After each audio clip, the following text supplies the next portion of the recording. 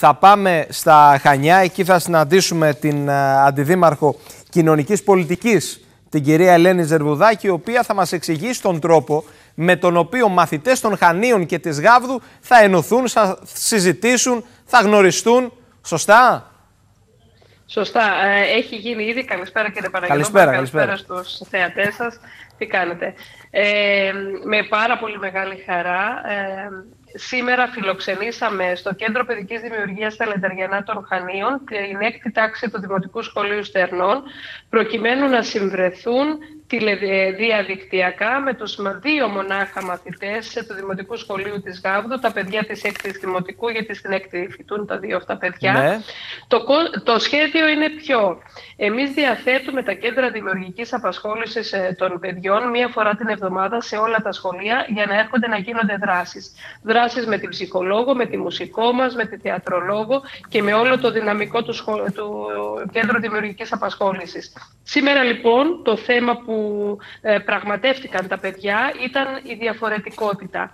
Αφού έγιναν οι απαραίτητες συστάσεις των μαθητών των στερνών με τους μαθητές της Γάβδου, Ξεκίνησε η αφήγηση μετά της θεατρολόγου μας της κυρίας Αγιασμενάκη ε, πάνω στο ένα βιβλίο τη, με θέμα την διαφορετικότητα. Μετά έγινε μια συζήτηση με τα παιδιά εκατέρωθεν για το τι, πώς αντιλαμβάνεται ε, το κάθε παιδί τη λέξη διαφορετικότητα.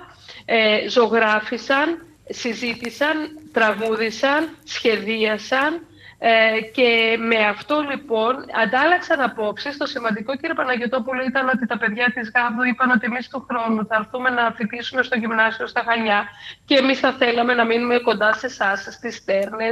Θα θέλαμε τι επάγγελμα θα ήθελαν να κάνουν, πώς μπορούν, πόσο διαφορετικός είναι ο τρόπος ζωής ε, στη Γάβδο σε σχέση με αυτό εδώ στα Χανιά που ζουν οι μαθητές των Χανίων. Βλέπετε ότι έγινε μία ο, ε, ο Δήμος Χανίων, το ΔΟΚΙΠ, τα κέντρα δημιουργικής απασχόλησης έγιναν ο συνδετικός κρίκος ανάμεσα σε δύο διαφορετικούς κόσμους. Πολύ σημαντικό και, τα παιδιά σας ένιωσαν κοντά τους. Είδατε ότι θέλει να υπάρχει και συνέχεια σε αυτή την επαφή. Ακριβώς. Ακριβώς αυτό ήταν ε, που μας χαροποίησε πάρα πολύ και πόσο τελικά τα παιδιά είναι αθώα, αυθόρμητα και έρχονται τόσο κοντά το ένα στο άλλο χωρίς πολλές παρεμβολές. Θα ακολουθήσετε φαντάζομαι την ίδια στρατηγική, τον ίδιο σχεδιασμό, θα υπάρχουν δράσεις και το επόμενο διάστημα. Έχουμε και γιορτές, ναι, ναι. έχουμε και Χριστούγεννα. Έτσι ακριβώς. Έτσι ακριβώς η συνέχεια θα υπάρξει, γιατί υπήρξε πολύ μεγάλη ανταπόκριση και χαρά και από τη δασκάλα και από τους δύο μαθητές της Γάβδου, αλλά και από τα υπόλοιπα σχολεία από τα οποία έχουμε ανάλογες αιτήσεις. Να σας ευχαριστήσω πολύ.